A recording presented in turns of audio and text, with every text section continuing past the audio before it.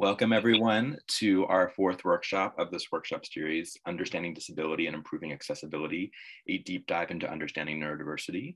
My name is Todd Trebour, my pronouns are he, him, and his, and I am the organization's program director at the Rhode Island State Council on the Arts.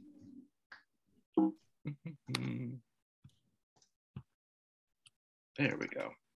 So before I wanted to, before I go any further, I wanted to start off our meeting with a land acknowledgement, as is our practice for all our public meetings at the Rhode Island State Council on the Arts. It is RISCA's practice to acknowledge that the grounds in which we are meeting are Indigenous lands. Our offices in Providence and all of Rhode Island are on the ancestral homelands of the Narragansett Nation. RISCA is a committed ally, and as artists, we honor the Indigenous people, their ancestors, the culture, and the artistic representation, past, present, and future. We recognize the continued existence and contributions of Indigenous people to our society. Again, thank you all for being here. I am charged with giving you all the rules of the road and some context for these workshops. So first off, adult as necessary. This is something that Jeannine and I are borrowing from our friend Bria Heidelberg of ISO Arts Consulting. That means if you need to go to the bathroom, if you need to take care of a, a person in your space, if you're a dog, uh, you know throws up in your carpet whatever. Feel free to do what you need to do. Feel free to turn off your camera. Um, you know we know that you're here all right? Uh, just be here how you how you can be here and need to be here uh, a little bit about why we're doing this workshop series. So uh, Randy Rosenbaum, our esteemed former executive director, was the 504 accessibility coordinator for our agency. What that means, and I'll talk about that in a moment, is this person is in charge of accessibility efforts at our agency. It's a federally required uh, role. And when he retired, I became that person at the agency in the interim until we have a new executive director who can decide whether or not I will continue to do that. Uh, but brewing even before that, uh, we had come out with a strategic plan with our values around equity and access. And obviously, we're implementing that um, and are on our own learning journey along with you all and are striving to improve on our efforts continuously as we know you all are as well. Uh, we sent out a survey in the fall to general operating support organizations, about 60 of them, who make a good kind of sample when we're trying to just do, you know, kind of a, a, a get a read of the field and what's going on. And we surveyed them about accessibility, um, and, and equity questions that they have and work that they're doing. And one of the things that emerged was that small uh, and volunteer-led organizations specifically struggle with implementing organizational diversity, equity, inclusion, and access work because a lot of the resources out there are geared towards organizations that are larger with staff, with larger budgets. And there's just a lot of resources out there, not a lot of guides in terms of how to access and use those resources and implement them. So that inspired this workshop series um, to focus mainly on small and volunteer-led organizations. We say mid-size as well because we know many mid-size organizations in Rhode Island have one or two staff people, if at all, and some of them are part-time, etc. So it's how to do these efforts when you have limited resources and time, and how to do them in a way that is good and authentic and you know not bad. Um, that was what motivated this. Jeannine uh, from Arts Equity Rhode Island, who introduced herself momentarily, um, has been doing work in disability advocacy for many, many years. She will talk some about that. She's a trusted partner at RISCA. So we look to Arts Equity Rhode Island uh, to partner with an, an, offering this series. The first two workshops were done by Dr. Bria Heidelberg of ISO Arts Consulting about initiating equity work at arts and culture organizations. And these last two are focused on accessibility and working with communities and people with uh, disabilities. This workshop focused on neurodiversity emerged again from those survey results that we saw where that was where people had the most questions at this point in time. You know, we'll be continuing to offering these kinds of programming moving forward and just be responsive in terms of what needs folks have. Related to that, you're gonna receive a survey and a follow-up email that also has a recording of this presentation later today please fill that out and let us know what other things you would like to learn about because we're deeply interested in obviously doing things that are relevant to you all. So a little bit about being the 504 accessibility coordinator and what that means for those of you who have seen the slide in front of you. As that person, that role, that means I serve as a consultant within RISCA about access issues, and I'm responsible for ensuring that planning for access is incorporated into all our organizational decisions.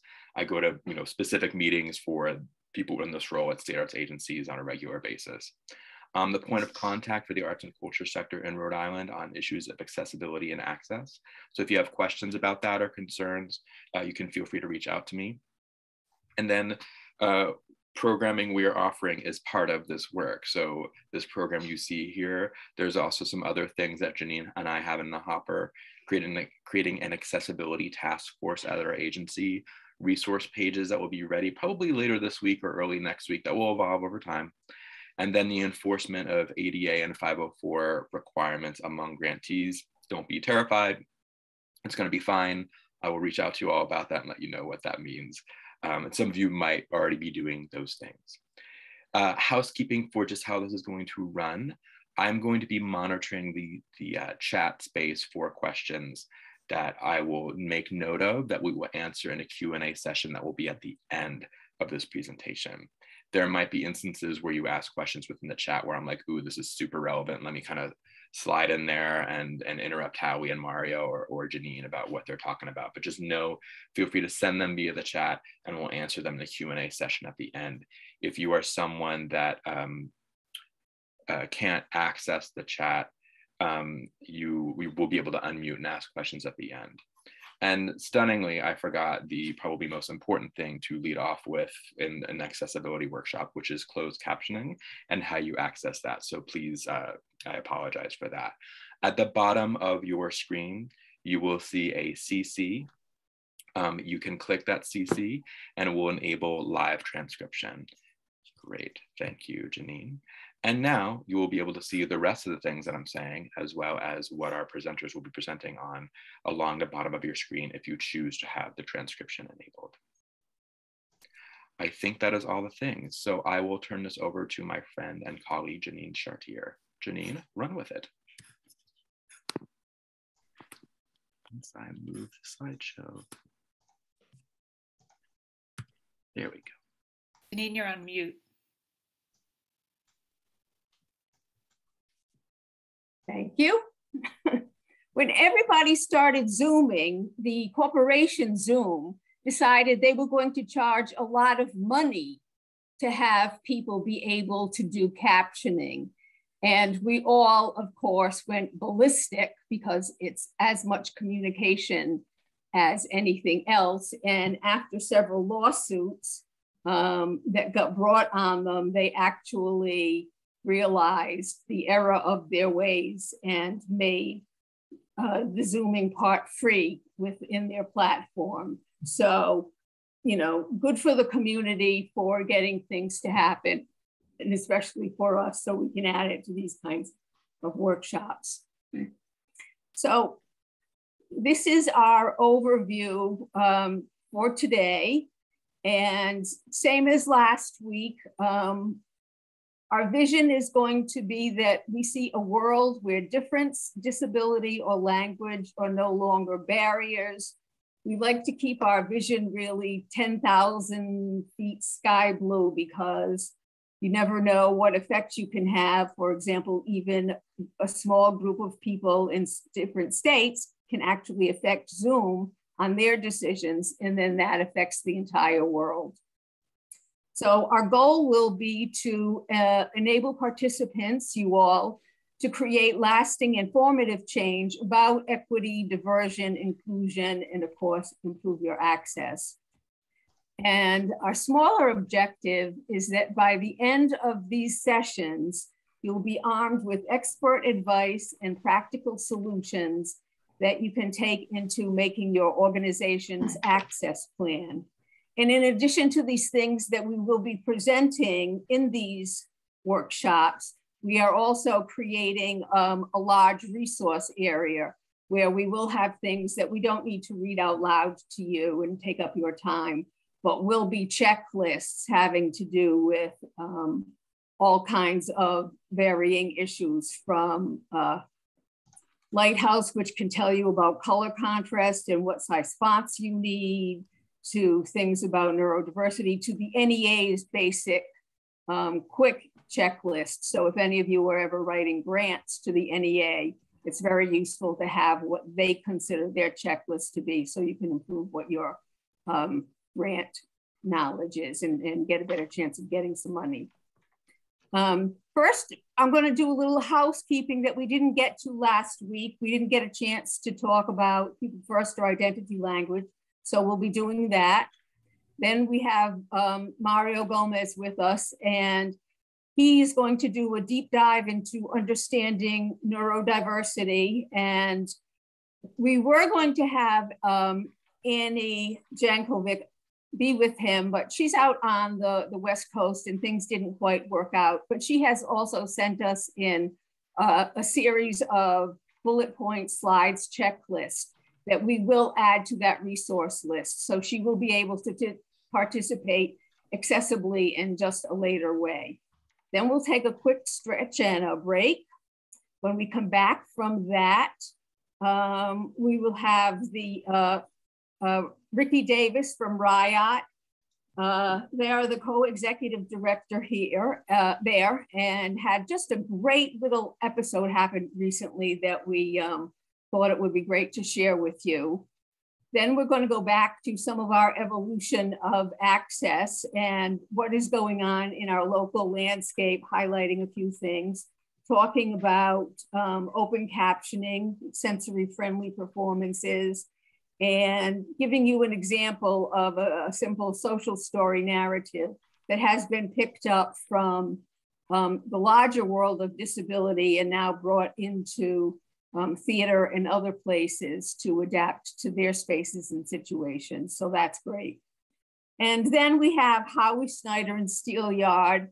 And um, I love Howie, and he allowed me to put this down as to, because there were so many of us that in our uh, surveys that we did earlier said, I don't have a disability. I'm the only one running my organization. Where do I start? So Howie and the Steel Yard have been at this for many years now and still learning and still growing. So he's going to be great and come on and talk to us about the access guide and more things that he has, including inviting us to event he's doing in the fall. And then we'll have time left over at the end for some uh, questions and answers and some discussion. So before we get into that though, I just wanna point out to you this little cartoon here um, where of course it says the system and this person running the system fits perfectly through the door in the system and says, we're going to have to change everybody else, you know, to fit in the system. And here we all are. I consider this we all. We're not the shape of the system. We're different colors. We're in the arts and cultural community. And what we want to do is know how to change the system so that we can all fit in together.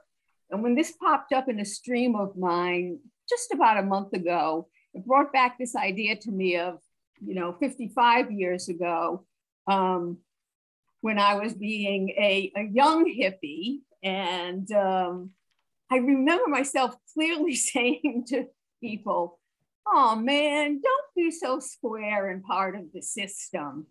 And here it is all these years later that we're still kind of saying stuff about being square and, and the system. But you know, even though we are still saying that, that larger idea, we've made a lot of amazing changes in the system. And so small steps, yes, but we've been through all kinds of civil rights movements and the feminist movement, the disability advocacy. We went through uh, HIV AIDS advocacy and ACT UP more recently with Black Lives Matter. So I do feel that the system is changing, but I still think it's it's a good idea for those of us who are the colorful artsy creatures to still work on pushing it and making it more so. So now um, we're just going to go into some of the housekeeping from last week. And where we talked about, we ended up talking about how disability is a social construct created by social barriers. And those barriers can be eliminated. And a lot of those barriers came out of prior models that were about medical and charity. And so those things developed into systematic biases that favored certain groups over others. And they had set up a pattern of norms and rewards and expectations, opportunities, who got recognized, and all those things built themselves into our laws and our policies and our practices. And because it started out in that big systematic way, architecture was all big steps going up to, you know, where Caesar sat or who got rewarded, you know, in our smaller little Rhode Island way, it was always, you know, I know a guy. And um, so all of those things just got built into, built into the groundwater we have, built into the work we do. And so some of it was taken on by us as individual biases, where we thought and had actions that supported those larger systems. And it became lessons that we learned from the systematic biases that we didn't even necessarily know we had. But now we're working on building in systematic solutions. And one of the most popular ones, the most popular ideas of one, is the curb cut effect. So after ADA was passed, um, they made an investment in all our towns and cities, in Washington, D especially, where they put in these um, curb cuts. And it was initially done for wheelchair users so they could go up and down without bumping into the edge of those curbs. and it got put everywhere. And now we just expect them to be there, and everybody expects them to be there. Delivery people, oh my God, the guys who deliver beer to your bar loves that they're there. The um, women who are pushing baby strollers and other people who are just out in the world that um, you know, the silver tsunami is happening. We're all getting older and using canes and walkers. And so now knowing that those curb cuts are there are really beneficial to everybody throughout the entire system. And we no longer have to worry about that. And everybody sort of gets that idea and now builds it into not only just out on the street where the city has to do it, but builds them also often within their own personal spaces. And so that's great. So thank you, Todd.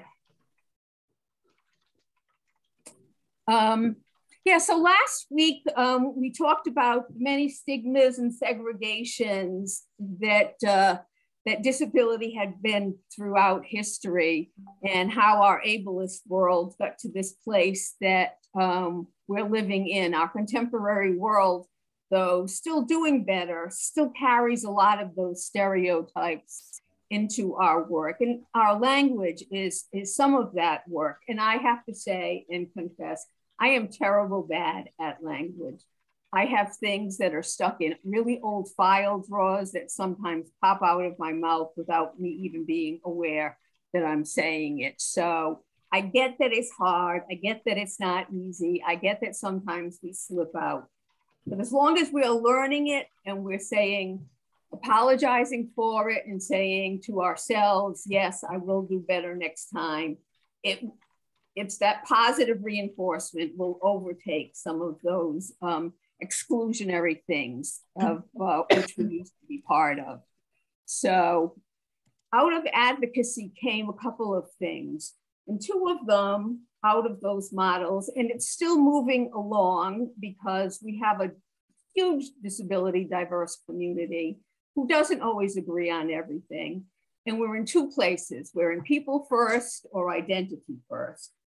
So people first language began out of uh, uh, throwing ourselves up against the medical model, who only wanted to describe us as our person that was our disability, our person that was our deformity. and so they would just say that a disabled person, um, an autistic person, and a lot of this also happened a lot in the um, in the AIDS era, AIDS and HIV, because everybody was being described as he's an AIDS patient, and, just totally ignoring all of the other things that that person was, and really um, advocacy led to person first language. So now it's about you say the person first. So it's a person with a disability so a person with a developmental disability or a behavioral disability. So a person who is deaf or hard of hearing, or a person of short stature and saying, oh, that dwarf, we say, oh, the person of short stature. And so that was our first big movement into changing things. And I have to say, some of that is what you need to know in order to write grants. That is still the basic format. If you write a grant to the Department of Education, the NEA, and many other places, they want you to use person first language in those grants. And so pay attention to when you're doing some of that because it really will affect somewhat how your organization is viewed as to whether or not you're really authentically buying into the disability advocacy movement. And then as that rolled on, identity first language also began working into the culture. And that language I, I emphasizes that the disability plays a really core role in who the person is and reinforces that disability as a cultural marker. People did not want anyone to think that they were stigmatized by their disability or embarrassed by their disability. So they wanted to put it up front so that people would know. So thus it became disabled person and autistic person. And oh, by the way, this idea of the the uh, thus disabled person. That's how I personally write disabled. I write dis with a backslash and able. And I use that just as an umbrella term because again, when you write grants, you have to work your way down to maybe sometimes smaller character numbers. So by using disabled, I am including everything from people with physical disabilities, sensory disabilities, people who are neurodiverse. It's just sort of uh, one way of, um, of, again, bringing that in without having to then list out all the separate little categories. Um, and so if a person prefers identity first language, respect that. Sometimes you may say something and they will remind you that, oh, that's not a word that we use, or how I phrase something is this. Or you can just ask. It's very much the same as what we're going through with pronouns and whether or not you're uh, prefer to be they or he or she. Um, definitely, though, there's the things that are not to say. And those are these clumping categories where you call people the disabled or the handicapped. To my understanding, and it might be folklore, handicapped came out of this place that was very much the charity model. You had you couldn't get a job, so you had to sit or stand on a corner and beg for money in order to live. So you would hold your cap in your hand and that's how you would make a living. And it was, you know, very much a stigma, but very much to what we were very limited to before we started doing advocacy work. So these other words, cripple, retarded, simple moron, and again, victim of. People all the time, instead of just saying that, for example, me, I'm a survivor of polio. Yes, I had polio, but I am not a victim of it. I dealt with that disease and moved on. So those kinds of things suffers from or victim of put people in a really pitying place that is really wrong and tends to make us look like you know we're defective and we're not into that and so again same thing with words like insane or crazy or stuff that have lived for so long in our language a little while ago, I was over at AS220 and there was a bunch of kids running around up and down the stairs. And one of the kids said to the other kid, without even thinking about it, just again out of some file cabinet in the back of his head, looked at the other kid and went, Oh, that's so retarded. And the child did not have a diagnosis of mental retardation. So, in any shape or form, it was real. And I really had to stop and pull the kids aside and say, oh, by the way, don't do that. Because I don't think anybody had ever explained it to them before because they weren't insulted that I did that. But finally, it made some sense to them. And, and so there are still ways out there that we can really work on changing this kind of language. And one of the languages, one of the words that we're working on changing now is special. I don't know if any of you remember, but a number of years ago, before I became Arts Equity, we had been very special arts. It had grown up out of the time of uh, the Kennedys, and Eunice Shriver started Special Olympics, and Jean Kennedy started Special Arts. Special at that time was a code word for not saying retarded. Everybody knew retarded was bad and they didn't know what to say. So they all just started saying special. And that bled into our society. And now in some places we're stuck with it. I don't think special, we, we as very special arts changed our name, so we weren't carrying it around. Um, Department of Education has offices of special education. And again, trying to work on modernizing that. But you know, this stuff takes a really long time. Um, but please try not, unless you're referring specifically to the Office of Special Education or Special Olympics, please try not to use it. Don't say that children have special needs because they have a disability. All children have all kinds of needs. And so for breaking it out in that way is really quite a, a shaming and derogatory way to go about it that we just haven't figured out how to ameliorate yet. And the next thing is, of course, wheelchair bound, which I hear on TV almost every other day. Some reporter saying something about this person who is wheelchair bound. Wheels give us access. Wheels help us get everywhere.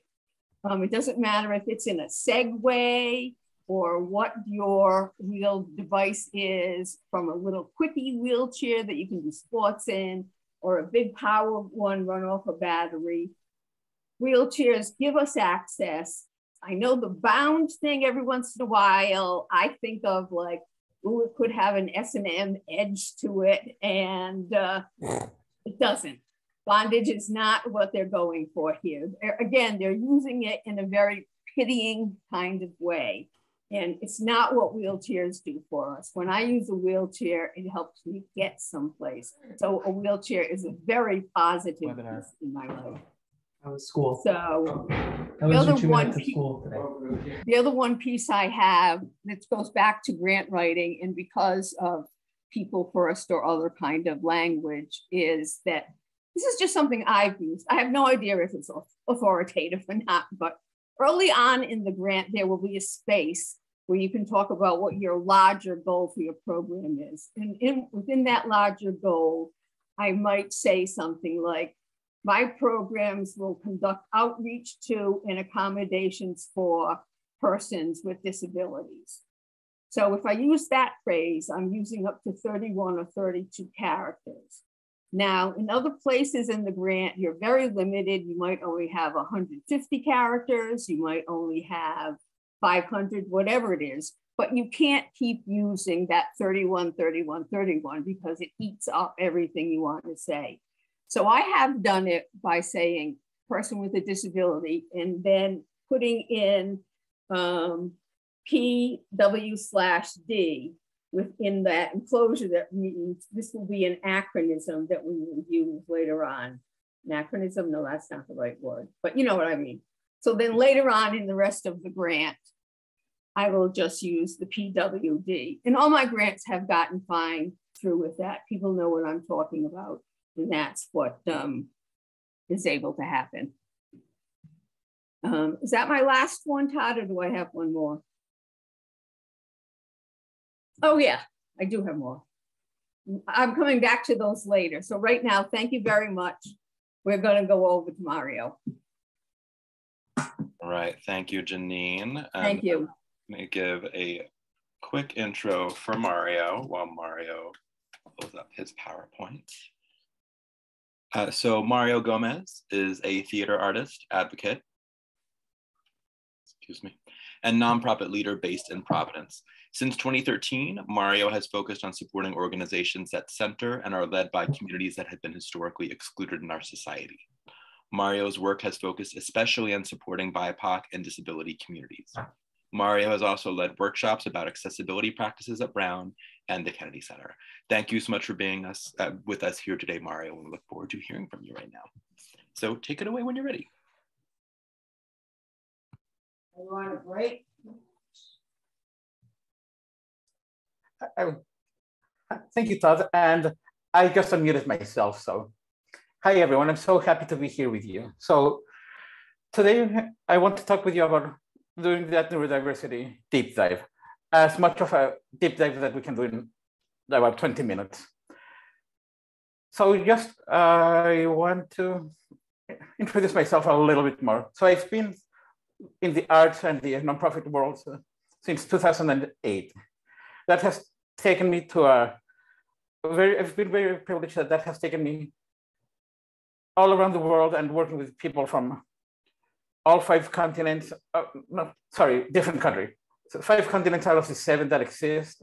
I've done a lot of work in theater in my in this uh, last 14 years, so I've actually been around. And I do want to share that I do identify as neurodivergent. I have done a lot of work with organizations like that are that center and are led by people with disabilities here in Providence, some in Seattle, some around. And most of them, um, and most of them have been on the smaller side or growing. So a lot of the things that we can talk about are things that you can actually use and implement easily on your uh, everyday practice. So in this uh, next 20 minutes, I'm just going to give you some definitions and then we'll talk about some things that we need to keep in mind as we think about neurodiversity, about uh, neurodivergence, and about people. And then some of the things that we can implement on our day-to-day -day practices that actually don't require that much time or resources. It's, they'll just be a first step into the uh, work to really become a, to really make our organizations more inclusive and more accessible. So one of the things that I do want to share with, and this is one of the principles that I do take with me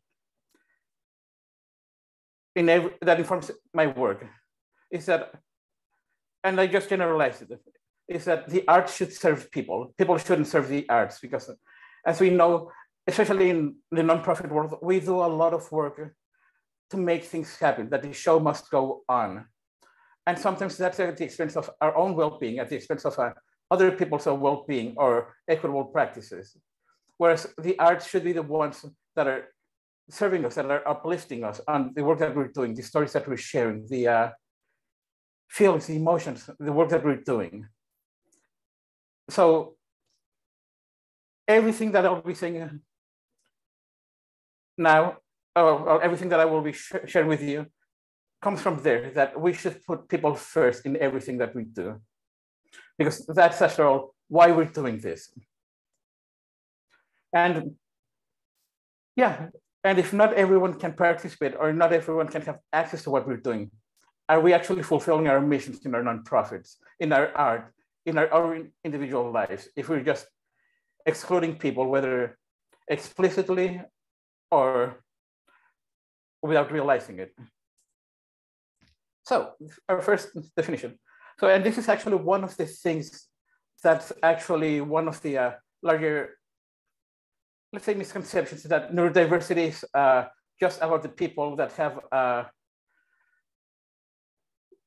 condition or that have a disability. No, actually neurodiversity encompasses the entire spectrum of uh, how our minds, our brains work, how they, how we process the world, how we navigate it, how we understand other people. It's the entire spectrum. And then that's where we go into two other definitions, uh, neuro neurotypical and neurodivergent. Neurodiversity, uh, sorry, neurotypical is the people whose brain functions and behaviors fit what is considered normal, what's considered standard or typical. Neurodivergent, well, refers to everyone else. Uh, a lot of the way that neurodivergent is defined nowadays is about people, for example, who are in the uh, ASD, the autism spectrum, or who have ADHD or learning disabilities, and so on and so forth. But I want to ask you, so what is actually normal? So I do want to ask a little exercise from you. In the chat, I'm, I'm going to ask you a question, and I just want you to answer one of the options. It's multiple choice. So when you think about yourself, would you say that you're better at writing, at public speaking, at math, or at um, manual arts?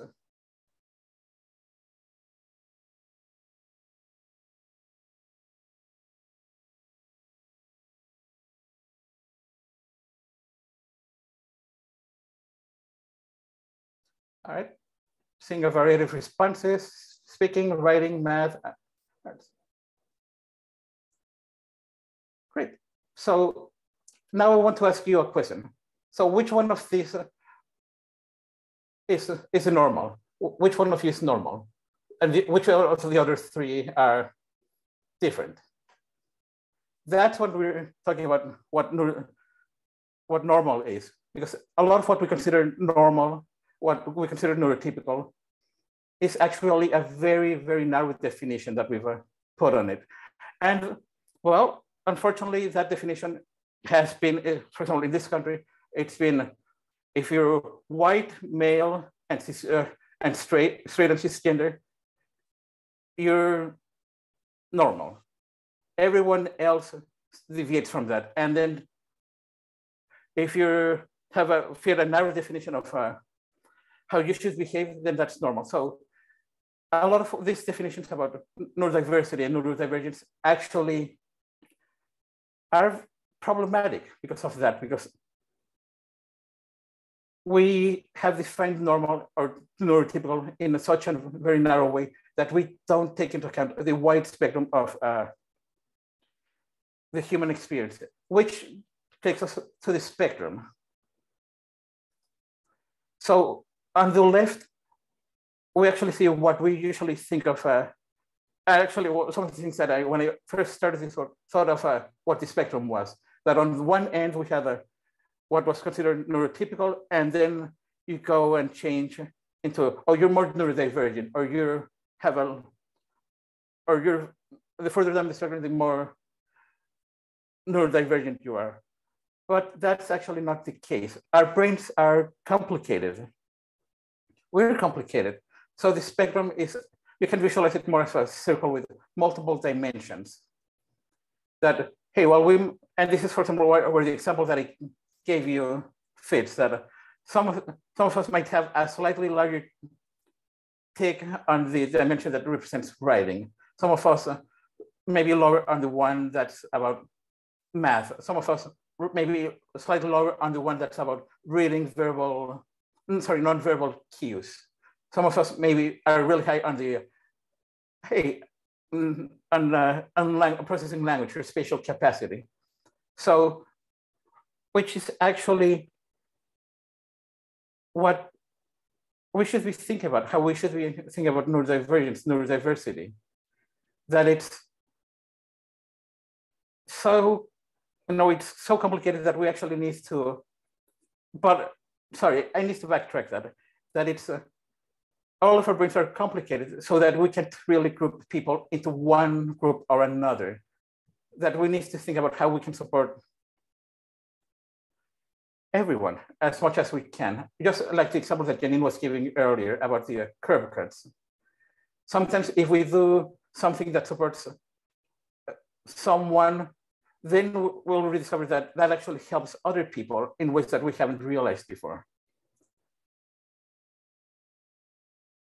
So this is just a bullet point list of things that we, I was already talking about, about all of our brains are different, that we, I mean, as a society, as a civilization, we still don't understand our, how our brains really work fully or how our bodies really work in, in its entirety. We sometimes actually know more about outer space than we do about our own brains. So and that's why a lot of times we've let societal cultural norms uh, that have existed inform what are definitions of normal. And like with pronouns, like with race, we need to really think, so who benefits by defining what is normal? And why do we need to do this? Why do we need to challenge those assumptions and really bring uh, everyone to the mix and support them in the way that we want, that we can? And so our under, under understanding of a definition of a, uh, sorry, and that's one of my access needs that uh, sometimes I just need to take a little breather in between words or sentences. So, so uh, thank you for your patience. So our understanding of neurodiversity is constantly evolving. I just as uh, Jeannine was saying earlier, we went from using words like, actually, if we go way back, where have you all heard about the stories about like the myth, uh, the folklore about changelings, which were about when the myth that uh, uh, fairies or fays or other mythical creatures would come in the night and take a baby and just substitute it with someone with a baby that wasn't uh, that was different, that wasn't quite human. Well, as uh, people and scholars have been thinking about that, they actually think that that might be one of the uh, ex earlier explanations of of uh, autism of uh, being neuro of certain neurodivergent uh, conditions that are, because some of them don't, for example, manifest uh, until later in, in our development process. Not maybe not when we're born, but maybe a few months in or a year or more. And that's where that story came from. And then we started going into special and, for example, Asperger's syndrome, that's something that you might have heard. But then as our understanding has even evolved in the last 20 years, that actually, Asperger's syndrome has actually gone out of, uh, fallen into use because we've uh, come to understand that it's part of the larger autism spectrum. So what I'm going to say is that our definitions change, our understanding change, changes. So as we're doing this, we need to understand that we need to keep try to keep up to date. We need to understand that what is going on, what the vocabulary is, but also what the uh, knowledge is. And if you can't, it's important that you are actually listening to the people in the communities that are able to keep up with that, that they know their own bodies, that they know their own communities. Because, for example, one of the things that I do want to mark here is that, uh, as Jenny was saying about uh, the terms that we that have been in use, I do want to call out that uh, one of the words that uh, were used, the R word, is actually in many neurodivergent circles, in many communities with autism is, uh, or neurodivergence is, is actually considered a slur. And so I would ask you that as one of the things that you take away from this is that you treat that word as such, uh, because uh, people have been bullied with it. They have been, uh, uh people have caused harm to them. They have been, uh, violence has been enacted on these people with through that word. So it actually just like other words, we need to be very careful about how we use it, about using it, or if we have to use it for absolutely, for some reason, that we need to be very careful on how we frame it and the warning that we might need to give people or the support that we need to give uh, people. Thank you. Oh, I, so one of the things that I we need to keep in mind is that a diagnosis for neurodivergence is, is not required when someone asks for uh, for support or accommodations because we don't have access. a lot of us don't have access to a diagnosis. Some of us, if we're from a, a BIPOC or immigrant community, we don't really have access to the medical establishment in this country to get a diagnosis. Uh, for example, uh, women historically, because a lot of the markers, for example, for some things like autism, some of the symptoms are actually things that society has been uh, expecting women to behave like or to do. And so a lot of women, for example, or non-binary folks have been underdiagnosed and undiagnosed historically. Some of us, uh, let's say if we're 40 years or, or older, we also lived in, during a time where we didn't really have an understanding of what we were. We were just considered eccentric or a little weird. So we may not have that. Or there's a stigma about, oh, I have a learning disability or ADHD or PTSD that I we don't want to bring up, whether professional, professionally or personally. So if so, we don't need to. We shouldn't require a diagnosis when we're thinking about this and when we're asking, giving these accommodations. And one of the things that I take with me is that uh, if you've met one neurodivergent person, then you've met one neurodivergent person. You can't generalize on experiences or on needs of other people. So I, since I'm running short on time, I will just go through some of the uh, basic things uh, that we can do, that we can implement on our everyday uh, practice. Uh, so first is that work starts on day minus one. For, for example, if you're doing a production, uh, doing a theater production, when you need to start thinking about accessibility and accommodations or asking about them before you even start meetings on productions. So because uh, the earlier you do this, the easier it is to uh, provide accommodations or find ways to work with uh, the people that need them or find interpreters uh, or the card machines or whatever you're using. Because the further along you get in the process, the harder, the harder it is, the expensive, it, more expensive it becomes, and well, the less, effect, the less effective it'll be ask, ask and honor access needs. But as I was saying, respect people's privacy and boundaries. Don't ask for what the how we can support you, not why we need to support you. Uh, challenge your assumptions.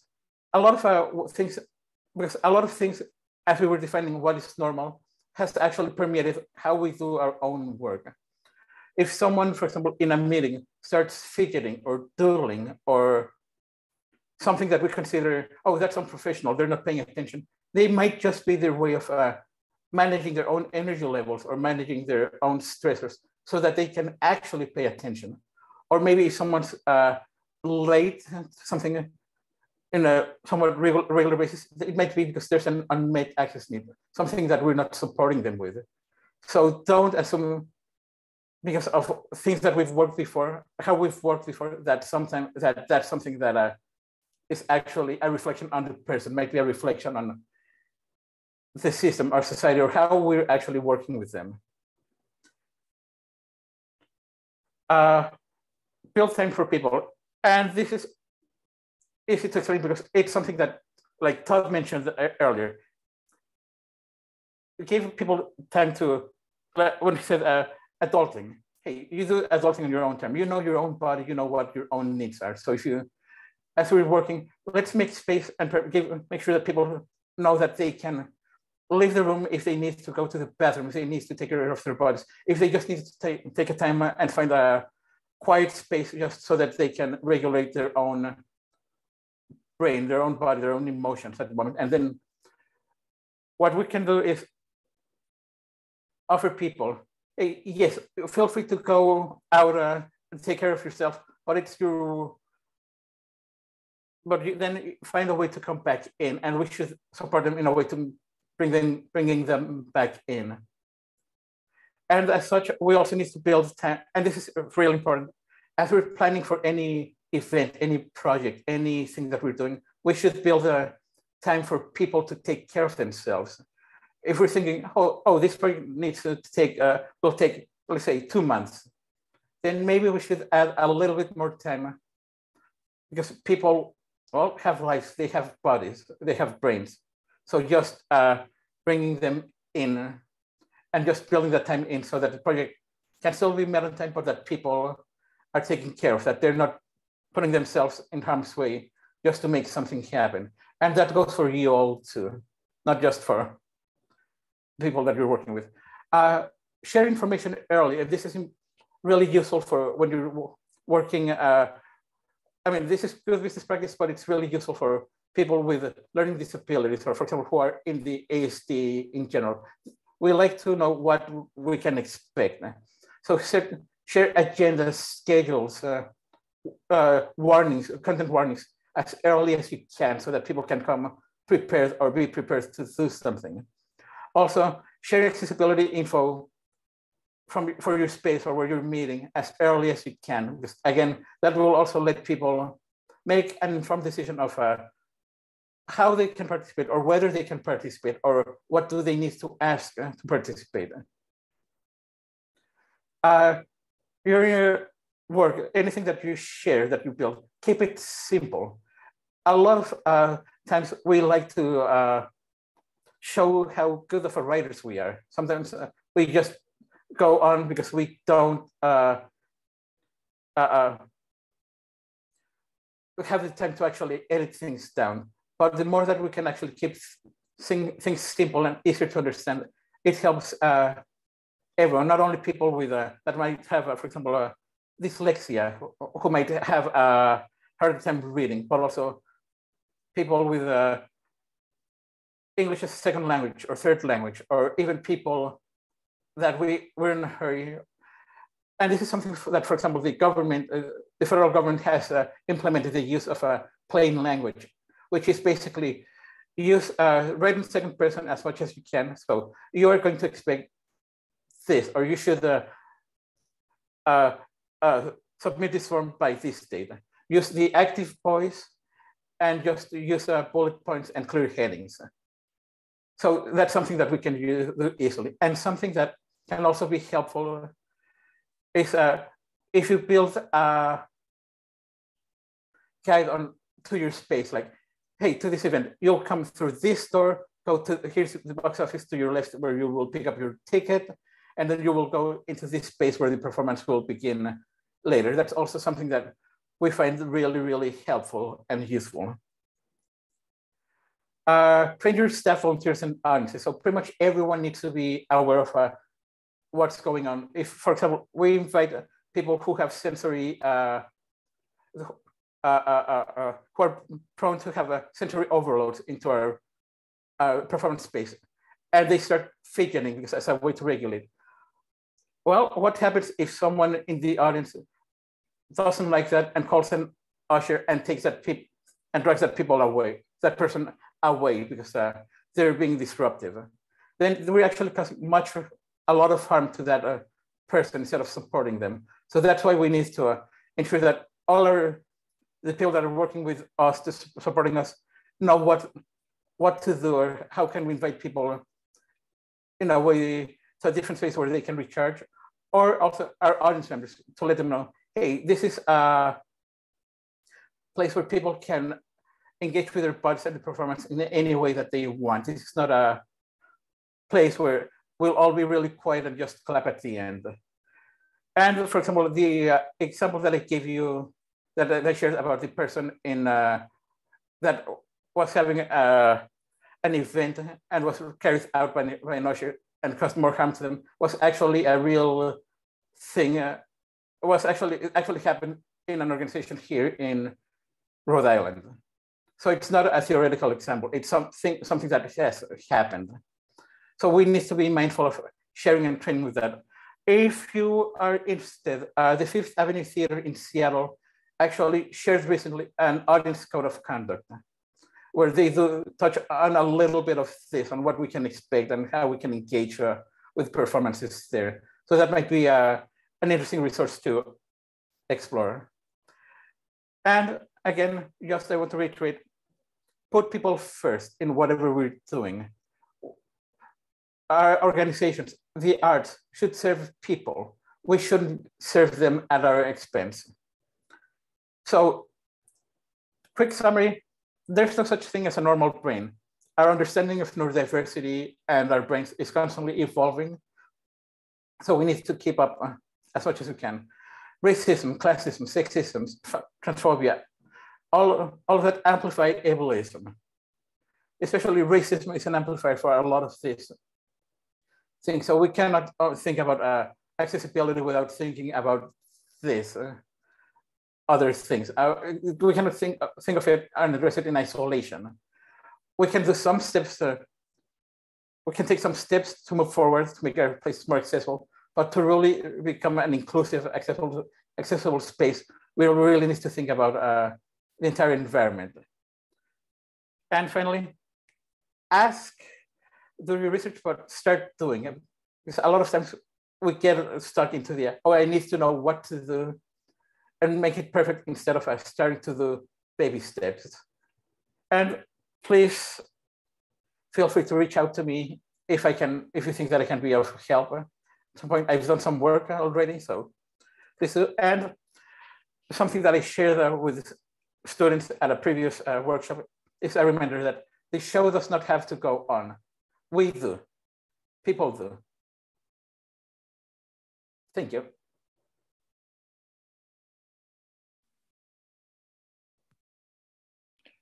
Thank you, Mario. I hope you all can hear me and see me. Yes, you can. Great. Thank you so much, Mario, for that. Um, uh, and as Mario said, you know, he's available if you all need uh, support. Um, I'm sure, Mario, I'll disseminate your contact information when I send out the follow-up email. Uh, we're going to take a five minute break now. We're going to come back at 12.05 and we'll then hear a little bit from our friend Rikki Davis at RIOT Rhode Island before Jeannine talks a bit and builds on some of what Mario shared um, when, when Jeannine talks about uh, social stories and open captioning. And then we'll hear from Howie Sneider and then we'll have some Q&A. So go ahead, take a, be back at 12.05. If you're someone with your camera on, go ahead and turn it off and turn it back on so I know you're back and I'll see you in a few minutes.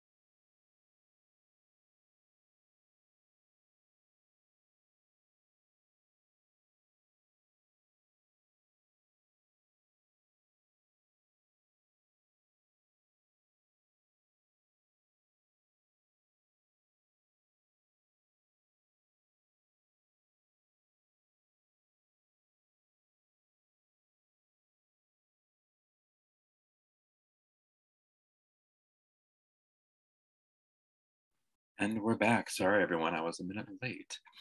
Um, we are going to hear now from our friend Rikki Davis, if Rikki is indeed here and returned. Sure am. Yes, awesome. Thank you, Rikki. Let me kick it off with a little intro for Rikki. My computer wakes up again. So uh, Rikki's great. Uh, and Jeannine and I invited Rikki to just share for a few minutes um, about RIOT Rhode Island, where Rikki is a co-executive director, uh, who they are and what they do, and what experience RIOT Rhode Island had working with individuals who are neurodiverse, um, and why and how um, they address physical accessibility um, with Rhode Island Spaces after a conversation with Jeannine. So an organization doing great work when it came to access that kind of has continued that work in the different areas and fields that kind of rings on some of the themes that we're talking about today. Rikki, I will let you take it away from here. Cool, thanks Todd. Uh, yeah, so like Todd said, I'm Rikki, I use they, them pronouns. Um, quick intro of me. I am a musician, a vocal instructor, a gender justice activist, and the executive director at RIOT RI. Um, I'm also, I'll claim the identities of trans, non-binary, and gender gender diverse, also neurodiverse uh, myself. Um, so RIOT, if y'all don't know about it, used to be called Girls Rock Rhode Island. Uh, we changed our name a couple years ago. Um, so we're RIOT Rhode Island now. And we are a volunteer run nonprofit that uses music creation, critical thinking, and collaborative relationships to foster collective empowerment in girls, women, trans, and gender expansive youth and adults. Um, so to take out the complicated language on that, music is the tool, empowerment is the goal at RIOT. Um, and we're a social justice org that is trying to use music as a force for change. Um, so our big program over the summer is Youth Rock Camp, where all of these kiddos, girls, trans, and non-binary or gender expansive youth learn how to play an instrument, join a band, write a song, and perform live in a week. It's a whole thing. It's really cool. Um, I'll tell you more about it in the lens of accessibility right now.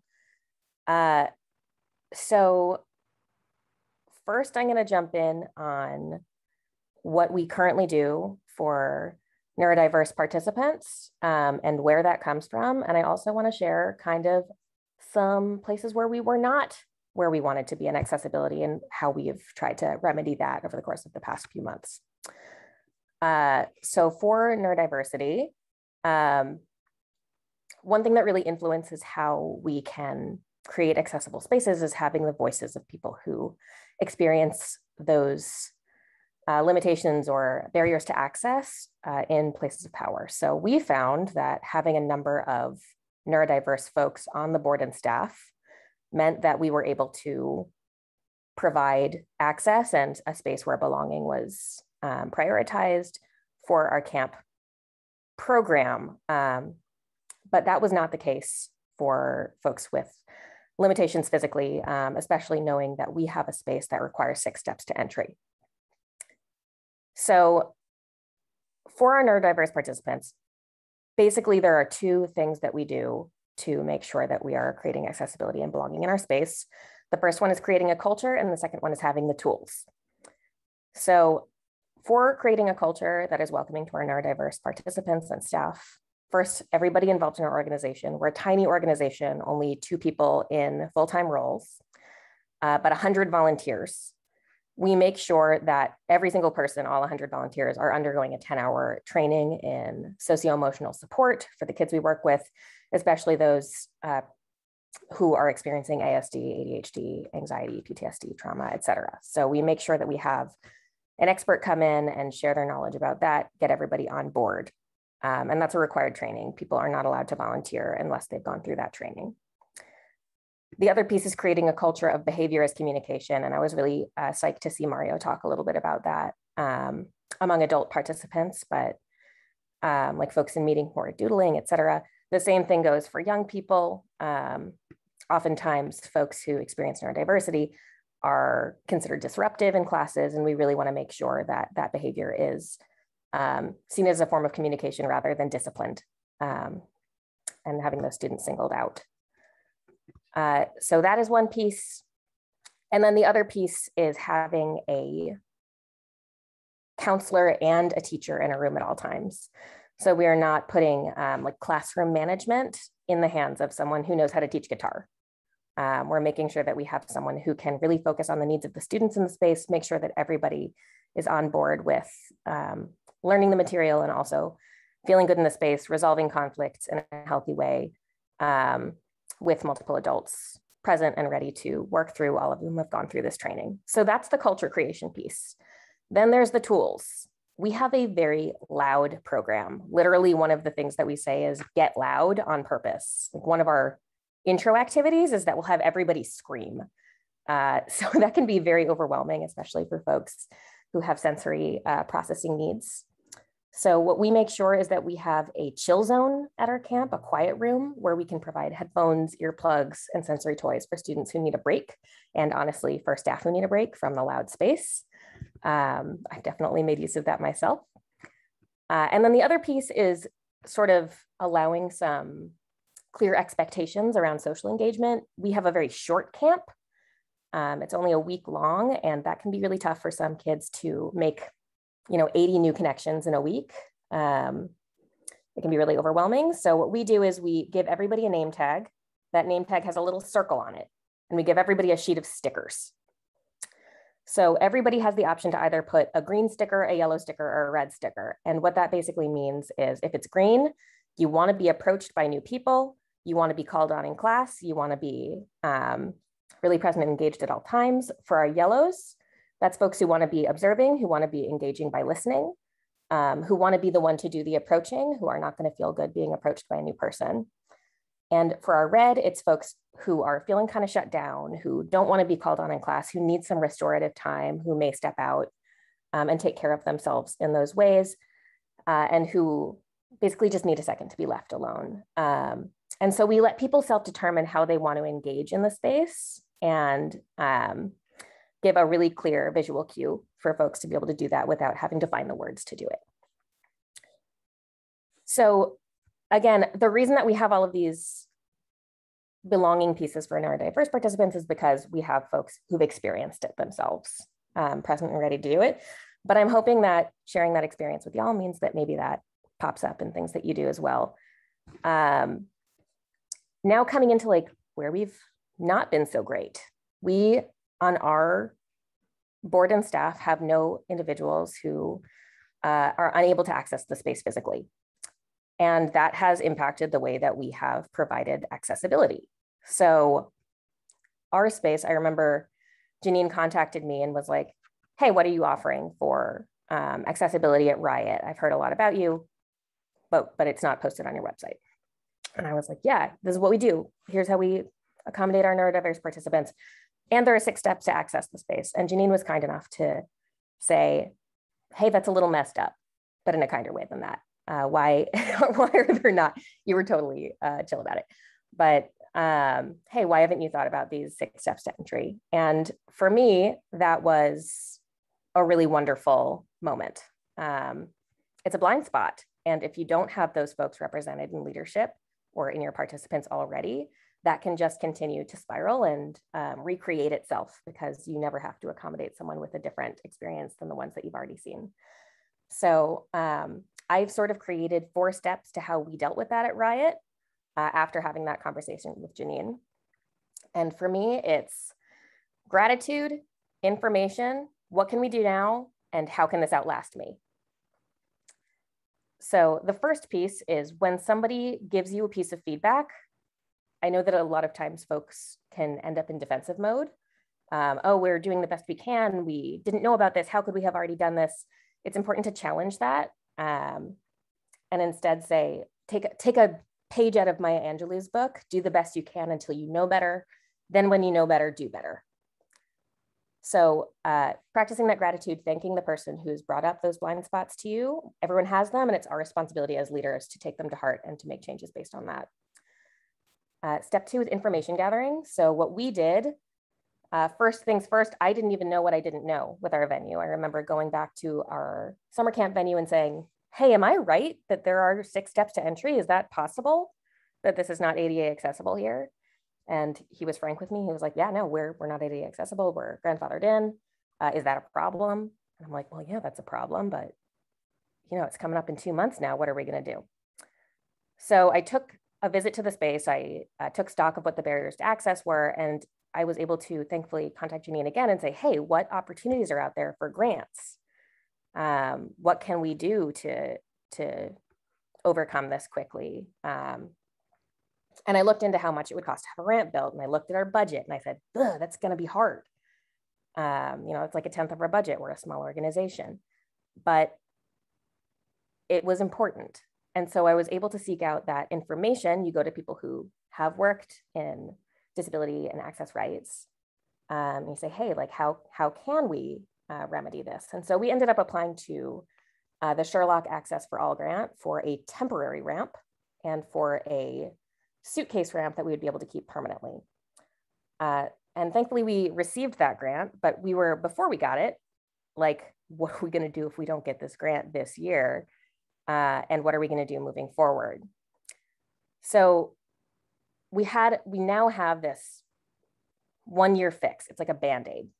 Um, we're like, great, we have access to the space. Either we're gonna have to move spaces that next year, and that's tough for us because this, we need these really specific things at camp. We need backlines and PAs and performance stages and that stuff can really rack up cost and we have this good relationship so how do we make sure that we can either find a new space or make this space accessible. And so that's where we move on past information into or that was in the what we can do now stage. What we can do now is we can get this ramp for now. Moving past into how can this outlast me stage. Um, so for us that meant all right we need to think of a creative solution. Um, and we ended up contacting Jamstage and saying, hey, what if we got a permanent ramp installed for you, but you stopped charging us for using the space? Um, and that allowed us to, you know, we didn't have to find, we are able to apply for grants, you know, like we have resources as nonprofits. We can apply for grants, we can fundraise that businesses can't do necessarily. So even if you're renting your space, you still may be able to do that and work something out with them. Um, why can't we sign a contract and then make it so that we have access here uh, in the long term if we're able to trade these skills using executive director time as a grant writer to get that um, managed. You don't need to like find 15 grand in your pocket, um, which, you know, I know nonprofits out there, like we're not running with a lot of reserves. Um, we don't have a lot of extra to pull from. So um, using your creative brain to try to find ways to like make connections and outlast and, and using your access to grants because one thing that's really fundable is access. Um, and it's required um, for all of our organizations to be equitable. So that's what RIOT did. We will see if we get this uh, year-round grant, and if not, we're back to the drawing board, and we'll keep working from where we are and uh, we're hosting our Amp Up the Ramp fundraiser this summer, so keep an eye out for that. We'll be doing a compilation. If anyone wants to buy it, uh, sponsor that ramp. Wonderful. Thank you so much, Rikki. Uh, and I've been getting lots of messages in the chat about how awesome everyone has been so far in their presenting. So Howie, you have a you have a lot to, to live up to. I'm going to turn it back over to Jeannine who is going to share a little bit more, as I mentioned, about open captioning and, and sensory, sensory friendly performances and other such things. But thank you again, Rikki, for sharing RIOT's story. Yes, uh, yes thank you, Rikki, because you are just happens to be the perfect example of of what can happen out of making a few phone calls you know you answered the the survey with the great stuff you were doing as well as the stuff that wasn't so great we got in touch with each other. We worked it out. We made it happen. I got you to Sherlock. You got some money. And, you know, I mean, it's rare that things can happen that immediately and quickly, but I just felt so positive that, um, yeah, that the story worked out like that. So thank you so much for, for following up and following through on all of that in such a timely way to make things so much better for all the kids that want to go to RIOT. Um, so I want to talk a little bit more about what's going on in our, our local community. Um, open captioning is done at a number of places. And I think these things, while I'm showing them here, their use of in the theater setting, I think they can be used in any setting. everybody's always doing events. Everybody's always doing not just theater productions, but workshop presentations in their spaces and all kinds of things. So I think this goes beyond theater world into just that production world. And so open captioning is live text displayed simultaneously to the performance. And that's as opposed to closed captioning where you have to have a special device. Open captions don't require anything. Um, and the text is, is always open and to be read. Now Trinity happens to use this LED display. Um, they've never loaned it out before, but they have talked to me saying that they would consider loaning it out to uh, a responsible, uh, reputable other organization, only because of the cost kind of stuff, if they weren't using it at the time. And what um, Teatro ECAS has done is they've built in a, uh, it, it, hangs down and they project their um, language because all of their productions are in Spanish. So this serves both for open captioning and for uh, bilingual translation. Parts of these things that must be paid attention to, however, is you can't just hook these things into like a Google or a YouTube translation. You really need to have somebody who can put in the time to go through the script or to go through what the production is and really align the text then you have somebody who sits at the computer during the performance so they can advance the text in alignment with what's going on on the stage. So it really does collaborate with the live performances that happen. Um, but it's it's great and it's again not that hard to do. There's lots of ways of, of going around and getting it done. Some of the other things that Mario and others talked about that I just want to hit on is this idea of sensory friendly performances. So they are designed to create a welcoming and comfortable art experience for sensory processing disorders. So that can be folks who are autistic or on other developmental, cognitive, intellectual disabilities. The stories that are being presented, the plays, whatever, um, will not be changed, but some of the technical elements will be softened to accommodate sensitive eyes and ears. So for example, strobe lights are removed. And mod other modifications include like a lower sound level. Sometimes productions have really startling or loud sounds. So they might be softened. Lights remain on at a low level in the theater because people are welcome to get up and come and go as needed during the performance. Usually there are quiet rooms that are set up outside the main performance area. And usually there are fidgets and other kinds of things provided. So at these particular sensory performances, patrons are invited and acceptable to make sounds, enter and exit as needed during performances. Um, and so out of any series of productions, you can take some of these things into consideration Wheelock Theater in Massachusetts now has such ongoing sensory friendly performances. They don't even need to do separate ones any longer. But then again, like I said, it depends on what you have booked. But you, again, need to bring this in with your production crew before doing anything about the production. So these things can be built in and integrated into what you have going on.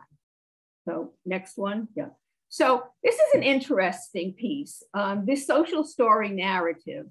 Now, these were um, adapted to be used in theaters, museums, and other places, but really did come out of the autistic community and started off by putting together a narrative that had a social learning tools. So there was visual supports and a meaningful exchange of information between parents, professionals, and peoples, the individuals with autism or neurodiversity. And so they could play out any activity. A child could have, like, when you wake up in the morning, this is your activity. You get out of bed, you go to the bathroom, you brush your teeth, you get dressed for school. So these things are built all over uh, a, a, wide, wide range of um, activities that people need to accomplish. And then they were adapted um, for theater. So here's the one I pulled somewhat from uh, Christmas Carol. And these are not just used for students with disabilities. These are used for if you have students that are traveling to Trinity on the bus, they will be able to get this ahead of time in the classroom so they'll know what they're doing. So you're going to see a show. This is what a play is if you've never been. You can bring your fidget toys. When you arrive at the theater, are you going to buy tickets? What's going to happen? There's going to be um, somebody who maybe will show you to your seat. This is maybe what the interior of the house looks like. Before we got there, maybe we even had something about this is where you're parking. This is where the outside of the theater is. This is the door that you're going to enter.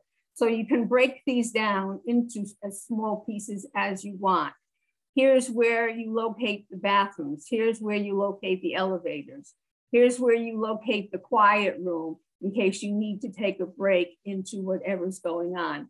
So it takes you through the whole um, experience of when you leave the space that you are currently in and know and are comfortable in through what will happen over the course of this event.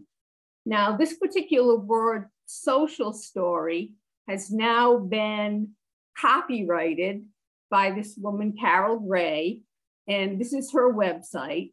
She has a whole extensive list of things of what actually combines a social story.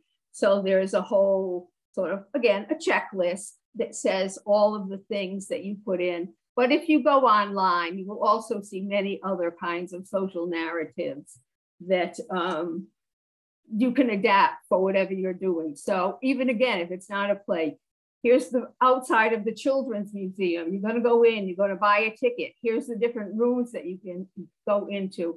So through this, you remove a lot of anxiety and they also work with a lot of older folks who maybe have gotten some Alzheimer's dementia and don't remember some of these things that they maybe used to do more frequently. But again, it makes everybody comfortable with the, um, the event. And is that my last slide, Howie? Uh, before Howie?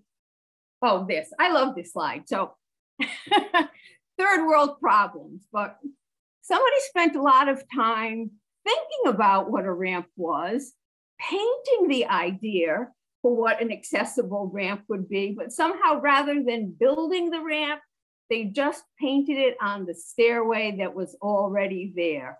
And I think this shows a little bit of the confusion of the world that we're still living in, that people have good intentions and sometimes they just get sort of side waylaid. And so some of what I want us to think about over these past couple of days and moving forward is that what does it mean for artists with disabilities to thrive?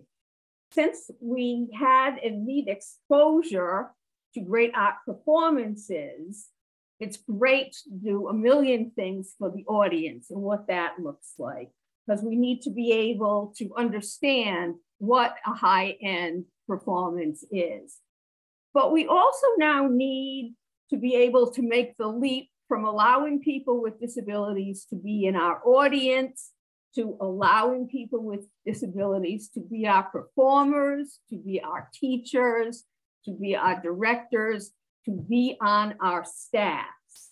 And that pipeline locally in Rhode Island has not yet really been built. But I'm hoping through um, the RISCA grants that everybody's going to be applying for, where there is a space in that grant where you can write down in the narrative, here's two or three things we were thinking about doing within this project over the next year to improve our access. And in, in uh, collating with that, on the other side, in the budget, you actually have a line for access. So you could budget something in. So some low hanging fruit might be you want to do a narrative story about what it will take to get people to come into your space. People are always worried when they do outreach if people are going to be comfortable in their space. There's a first step, telling them what it would take, putting that on your website and putting it in folders and getting the word out So at least people will know where they're going and how they can adapt to that. So within this RISCA grant you'll be applying for, some of those steps can be taken. And again, as Howie will go into and as RIOT already did, collaboration is the way to go. We all have diverse abilities. And so we can all, take those diverse abilities and bring them together in partnership with RISCA to really improve the landscape that all our arts and culture is moving in. So now, Howie.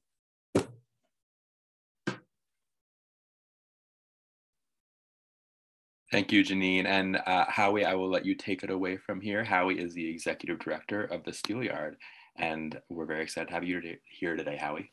Go for it.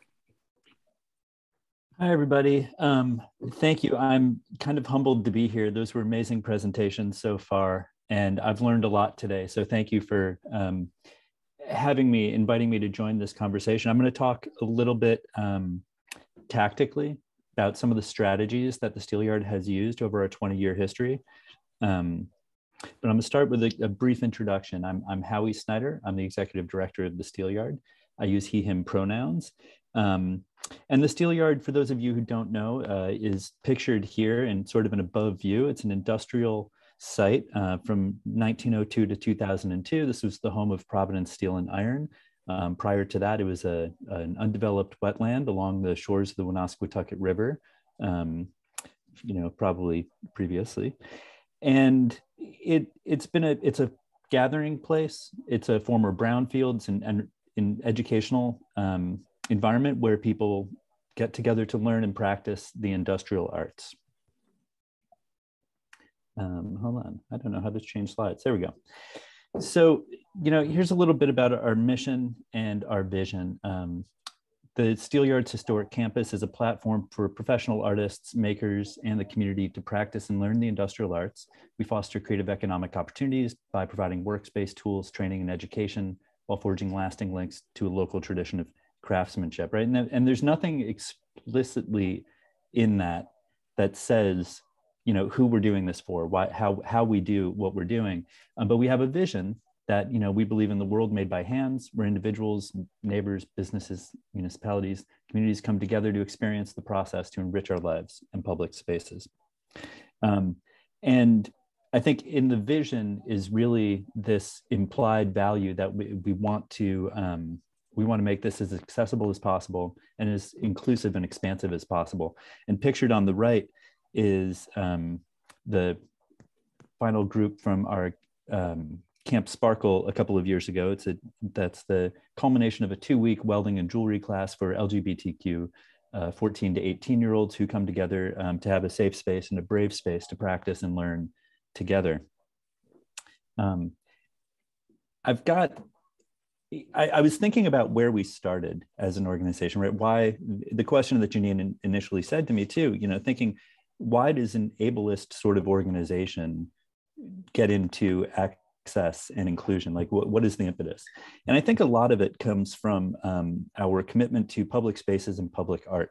And pictured here are two different projects that, you know, may not look, you know, on the surface like they, um, well, they were opportunities for inclusive design, right? We design a lot of trash cans, bike racks, benches, fences, picnic tables, things that go out into public spaces. And we've always wanted to make sure that those are safe and accessible to the broadest possible community. So even when designing a public trash can, you know, there's an ADA opportunity there, right? You can buy a trash can that's been designed and and um, produced by a manufacturer, and hopefully they've considered the ADA implications of it, so that somebody from a wheelchair um, somebody walking by, people of different sizes and stature are able to access the trash can itself and use it. And there are federal standards and ADA guides to sort of help with that. And even projects pictured on the left is a, um, a chess table that we made, you know, where we fabricated the steel. We had an artist do this beautiful mosaic tile top, and we decided to leave one of the benches off and this is it's not a coincidence there's not a seat missing that's a seat at the table um, that someone could use if they need a wheelchair or if they are want to play chess from their wheelchair, and we had to think about how someone's legs would fit under the table so that they could reach appropriately and be able to actually move the chess pieces on the table should they have to. So those kinds of um, that kind of practice of us being producers of public art and thinking about inclusion, I think started us down that path.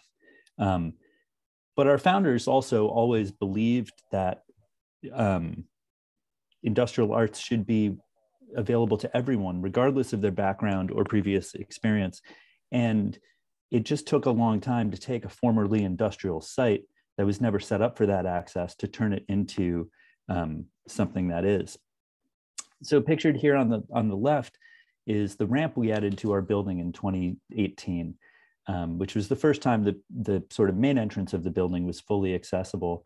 And this is a in, you know an ADA access ramp, um, but it was also an opportunity for art and design. And and we really see that you know doing something to include a broader community in your programs or in your sites um, can also be an opportunity to support and engage artists and continue to communicate some of the cultural ideas that you really express.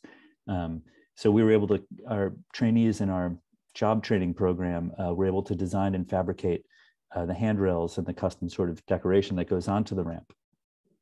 And pictured on the right are the uh, ADA accessible restrooms that we added um, to supplement the restrooms that had been there for the previous, you know, 100 years um, that were only accessible up six stairs, you know, similar to sort of Rikki's challenge, there was no way to get to a restroom. For from I think 2014 onward, we used to just keep an ADA accessible porta john on the site at the Steel Yard at all times. And that was the closest we could get to accommodating people because we knew that there was no restroom they could get to. And ADA porta johns are not ideal um, for anyone. Um, but it, you know, we we recognized the need, and it took us a long time to get there. Um, and obviously, all the all the solutions I'm showing you here, right? These are like things that are done and funded thanks to RISCA, thanks to Sherlock Center, thanks to uh, the DEM and other folks who sort of showed up to do this. Um, it didn't happen overnight. So here you can see on the left our ADA ceramics wheel uh, with the red stool in front of it that we installed um, again during studio renovations a couple years ago. And it's another one of those um, accidental or surprise accommodations that the whole community enjoys on a lot of different levels. The ceramics wheel in front of the red stool can raise and lower so that someone can access it from a wheelchair. It also turns out that once we installed that in the studio, a lot of people who were having back issues leaning over a ceramics wheel, um, you know, artists who were who are older or have had previous injuries, turns out they really like that wheel also. And they'll take the time to crank it up so they can use it from a standing position or they can lean on a stool and use it. And it ends up accommodating their lifestyle and their needs in a way that we never anticipated, but has been um, really great to see. It just reminded me of sort of the curb cut story, you know, serving one audience and thinking about accommodations. Um, other opportunities exist.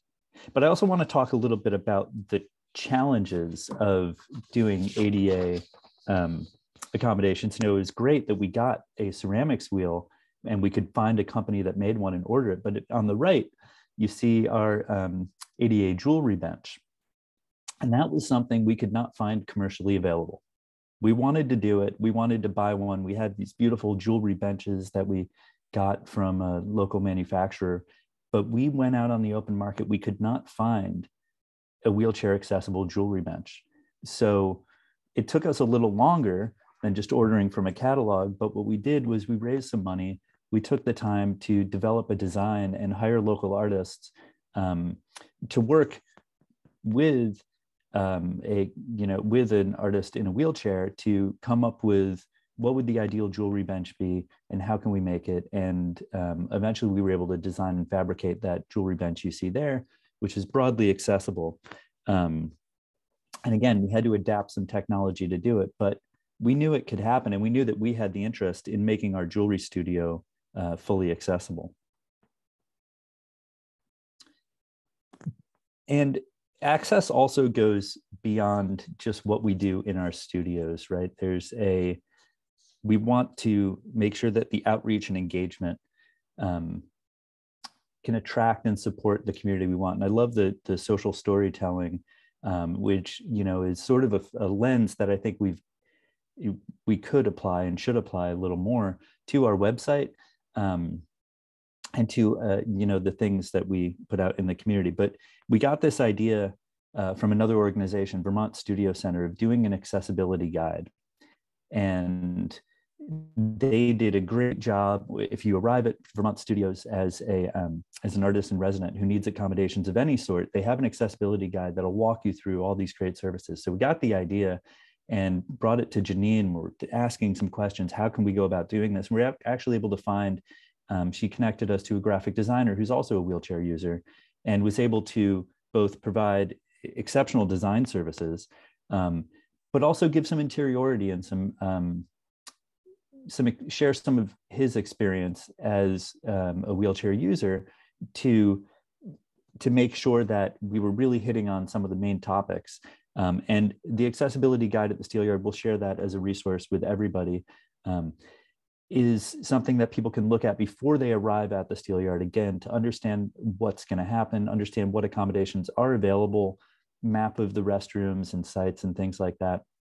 And we also designed to go with it a training program for our teachers and students, um, or teachers and staff to understand sort of what some of those accommodations are that we're expected to give.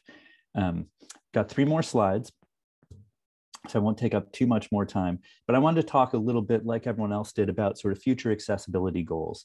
We're putting in a bottle filling station um, that's going to be, you know, accessible with a reach. We have a new entrance for our community art building coming soon because although our studio is accessible, um, we have an office, our administrative offices are only accessible through a temporary ramp.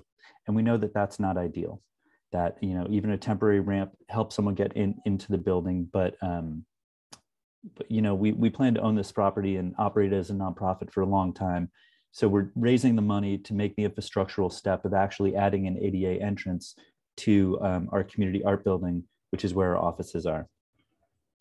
We're going to update the accessibility guide probably every couple of years because language changes. I think we've talked a lot today about language and um, making sure that we have people first language and making sure that that language is updated along with um, accessibility needs because the ongoing conversations are really what drives it. Um, and our studio director just said the other day, he was giving a tour to um, some folks from the South County Art Center who are working on an accessible ceramic studio. He said, you know, the what we need to do is keep listening, keep asking questions, and make sure that we have, uh, whether it's board members or community members, uh, to help support us and share the feedback. And, and Rikki, I loved your um, quote too, that we're, we're grateful for that feedback and we're going to do what we can to implement it. Um, and when we can find the resources and having the plans for it ahead of time makes all the difference. So the other thing that we're I'm excited to announce too is through the Sherlock Center, we have scholarships for people living with disabilities. And that, you know, a lot of people who are living with disabilities um, are also um, receiving other, ha have challenges to work, have financial challenges. There's financial barriers across all sectors of the community and trying to make sure that um, we lower the cost and make the very public invitation that and let people know because i've also heard from people who said you know when i came when i heard about the Steel Yard accessibility I assume that just meant the ceramics department. And you can see pictured here, you know, uh, Tina from uh, Real Access Motivates Progress welding on a project in our studio. Um, and really, we've we've tried to think holistically again about like who can access these um, services and how. So having those scholarships will help drive that community and support them. All right, two more slides, and this one is an announcement that uh, on May 24th at 11:30 a.m. in Kennedy Plaza, we're going to be unveiling a sculptural table uh, designed by the Steel Yard and Tina Peterson. It's called Tina's Table. It's an ADA accessible um, picnic table that is designed so that everyone who sits at it is in a wheelchair or looks to be in a wheelchair. It's a it's a sculptural piece designed thought to sort of increase conversations about accessibility and the unveiling is going to be a great event to uh, to meet people, to do some advocacy. Uh, the mayor's going to be there, lieutenant governor, and some other folks. So if you have any interest in continuing this conversation with any of them for doing your own advocacy, um, I think it could be a great opportunity. And also mark your calendars for um, September 10th this year at the Steel Yard. We're going to be hosting the second annual Accessibility is Beautiful event. And uh, this is not an event that the Steel Yard runs. Uh, RAMP really runs this event, um, but they are bringing together vendors, um, artists, performers who have different accommodations and, and uh, different abilities to uh, present solutions, exchange ideas, figure out how to connect businesses to the services that you need to be accessible. Um, and it's been an amazing, you know, the, developing these kinds of resources and these kinds of relationships has but what's been able to help the Steel Yard find the grant support we need and find the projects um, that really align on a more expansive future for us as an organization. So I'll leave it with that but wanted to thank you all again for sharing your ideas and um, back over to you, Todd. Thank you, Howie. That was wonderful. And thank you, all of our presenters today. Yes, yes. Uh, so we know this is a lot of information, and I've been getting a lot of great messages from you all being like, this is so great. So we have some time for Q&A now. Also, we understand that you might be processing this, so no pressure if you don't have questions for now. You'll be able to follow up with me and perhaps with others on this call about things they've done as you kind of ruminate on stuff. So just opening up the floor, as you saw, if you were able to see the messages in the chat, um, feel free to unmute and ask questions if you have them now you'd like to ask, or feel free to drop them in the chat. And I would just like to follow up Howie's encouragement to come to that event in the fall. I think that as part of these workshop things that we're doing, Todd and I will um, tag on and collaborate to send you all out specific information about it. I think it would be a great place for all of us to go, get together, do a little networking, um, again, engage in the community and there will be, be people there from ramp and others just to sort of you know mingle and socialize because i think that's a lot of ways that questions come up and questions get answered. Great. Thank you Jeannine. Any questions from the zoom room? Feel free to unmute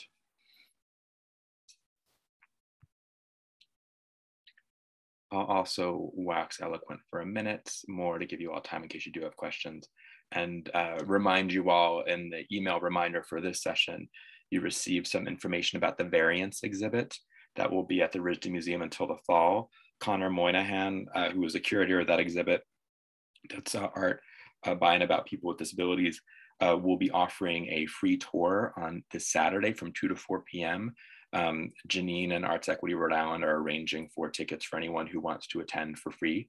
Uh, I'm going to drop a link into the chat that if you're curious about that, uh, it's just a simple sign up form. Uh, I'll be sending people RSVP uh, that list to Conor on Friday, this Friday, uh, in preparation for Saturday. So just respond to that survey by this Friday if you're interested. Let me see.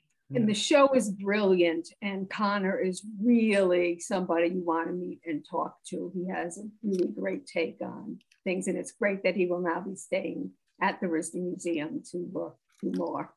But the show is fabulous.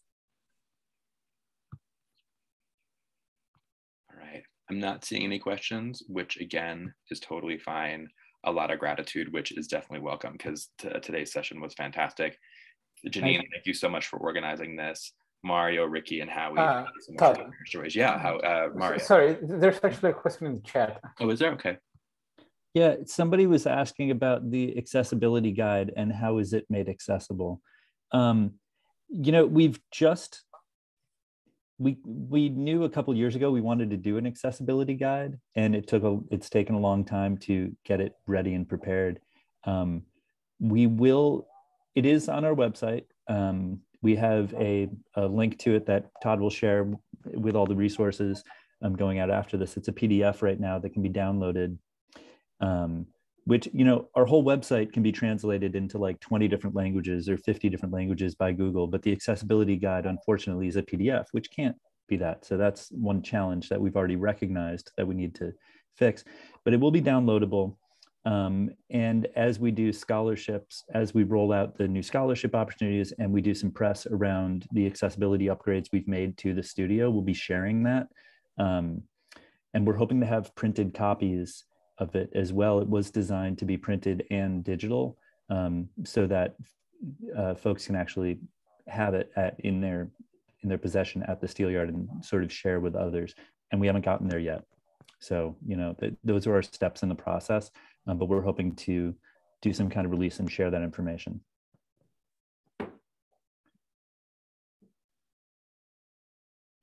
Great, thanks, Yeah. Abby. Any other questions?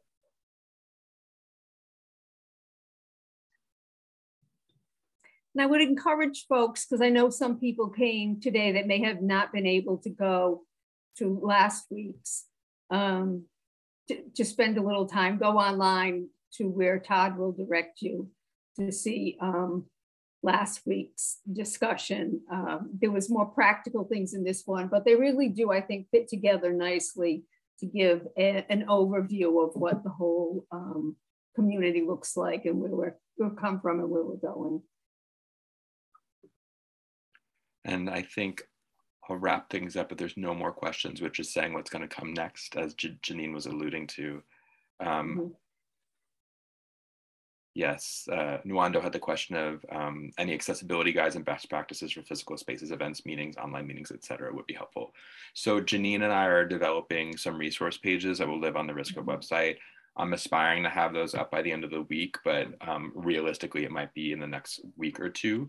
Uh, you'll receive some resources today in a follow-up email once I upload the recording. And as Jeannine mentioned, the recording from last week as well.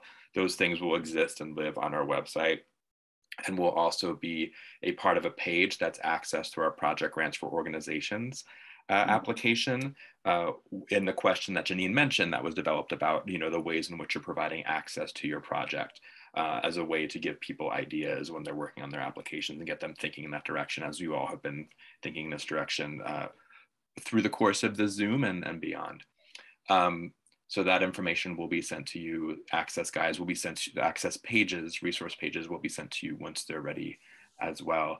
And stay tuned. Uh, Jeannine and I are going to continue to do this work together and we'll continue to develop exciting things depending on what needs you all have. Jeannine, you have something to share? I just wanted to mention that one of our goals, and I um, imagine we will be waiting for RISCA to bring on a new director, is actually to put together what we're temporarily calling a task force. And this task force will be of um, folks with disabilities from diverse categories of disability, diverse categories of art forms, and all of those kinds of things. So hopefully that not just as paper on a website or distributable, there will be a, a, a, living format of doing that. And when we get an opportunity after, like I said, the new directors come on, we will be sending out a call all over the state so people can um, recommend people that they know or people that they are, you could self recommend. And um, so we want this to be a, an ongoing living entity, not just a pop-up once in a while workshop. Howie, did you have something you want to share? Very quick. I just wanted to share something Jeannine told me yesterday that I, I can't oh. stop thinking about, which is the phrase, um, nothing about us without us. Yeah. And that, you know, the concept, any of the things we've done at the Steel Yard, we haven't done in a vacuum. There's, you know, Tina Peterson from RAMP and others in the community are willing to do a walkthrough or a roll through and come look at a space and sort of help um, with those kind of challenges. And I just love that call to action, nothing about us without us. And that, you know, there's every time I think about it, I, you know, imagine someone else who can be part of that conversation. Um, so thank you for sharing that with me, Jeannine. Thank you, Howie. And I think that's a great place for us to wrap up. Jeannine, was there anything else you wanted to share before we shut down for today? No, just thanks to everybody. I really do appreciate you coming along for the ride. And again, thank and you. And thanks to Todd for reeling us all in. Thank My you. pleasure. That was that was huge, Todd. It really was. We really appreciate it. Yeah, no problem. Uh, and thank you, Jeannine, Mario, Howie, and Rikki today for sharing. Uh, have a great Wednesday, everyone. You'll receive a follow up from me later today, and this conversation will keep on keeping on. So, talk again soon. Great. Thank you.